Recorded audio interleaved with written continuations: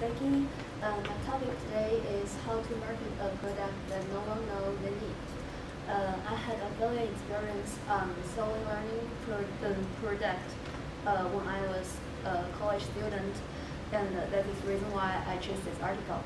Uh, there are three steps to help you product um, to market a product successfully. Um, first, you should do your, do your homework first.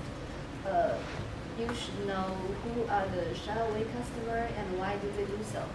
Uh, uh, and uh, maybe they have a bad experience on similar product. Uh, you won't know that without research.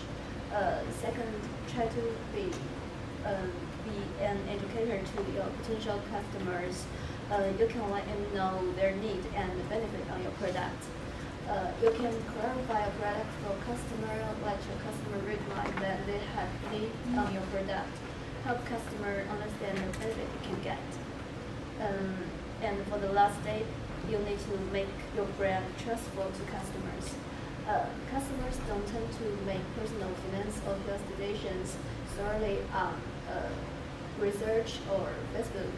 Instead, they need to learn about your product from multiple trusted sources and see your brand as a holistic solution provider.